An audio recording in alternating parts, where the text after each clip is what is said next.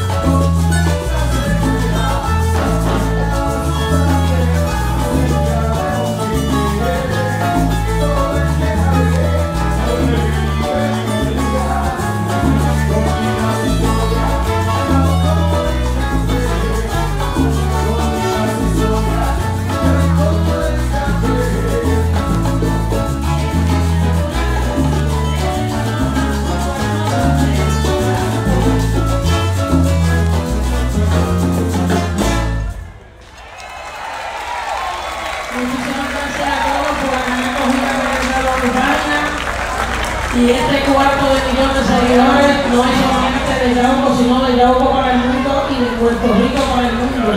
Eso representa a todos los puertorriqueños donde hay un lugar por allá, ¿verdad? Nos mencionan. Niña de gran pastelera.